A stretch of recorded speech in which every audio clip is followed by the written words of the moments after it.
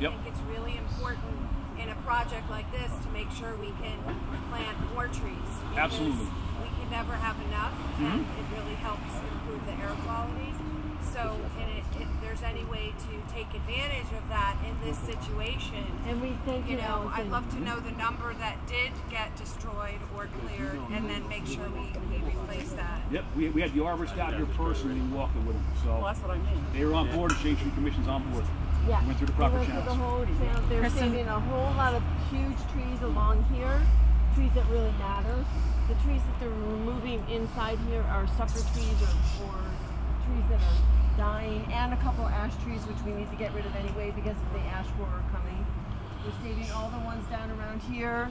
This maple and, and pine in the back. They've really done a beautiful job, and then they're adding a whole bunch more in. I think how many is it? It's seven dogwoods or eight?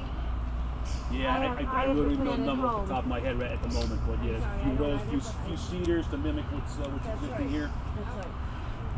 And thank you for making it ADA accessible. Yeah, yeah. That's very That was one of our requests. Yeah, absolutely. I mean, off the site is, you know, it is what it is. That the roads we, we really can't change, but these paths meet Yeah. all ADA design requirements.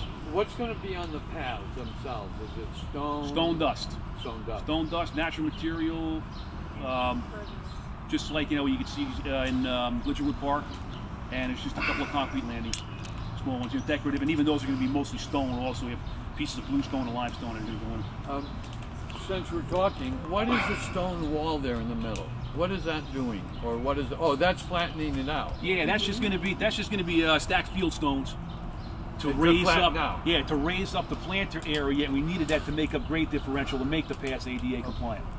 So Is it's it, all it's all uh, natural stone throughout between those and the, and the boulder walls also. Is it below 50%? Are you touching grade that is below 15% or is it the 15 to 25%? Because we have a steep slope ordinance. Yeah, we're yeah we're, we're, We're not cutting below the standards.